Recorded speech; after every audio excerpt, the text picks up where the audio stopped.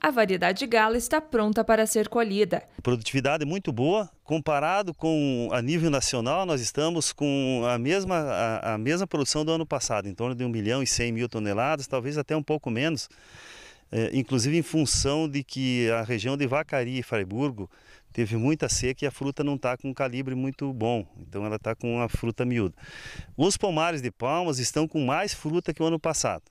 Então eu sempre falo, se a gente tiver o mesmo preço do ano passado, o produtor esse ano vai ter um faturamento bem melhor do que o ano passado, um faturamento bruto. E isso é importante para nós produtores, porque o ano passado não foi muito bom. A quantidade de frutos por macieira surpreende os produtores. Isso se deve aos tratamentos que foram necessários por falta de horas de frio e, claro, a polinização. Viemos de um inverno muito ruim e a gente tem que ser proativo com relação a isso, ficar sempre cuidando do tempo e o que, que acontece com o tempo. Então nós fizemos mais aplicações de produto para o pegamento e aumentamos o número de colmeias por hectare nos pomares. Por exemplo, trabalhávamos com 3, 4, passamos para 5 em alguns pomares e até para 8 uh, colmeias por hectare em outros pomares. Né? Então você tem um fluxo maior de polinização. E deu resultado, porque realmente a planta está com bem mais carga que o ano passado.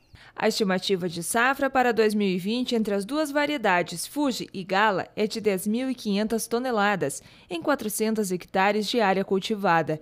Existem muitos pomares novos naquelas áreas dos que foram erradicados porque não produziam mais e estão entrando em produção. Leva até dois anos para chegar à produção total.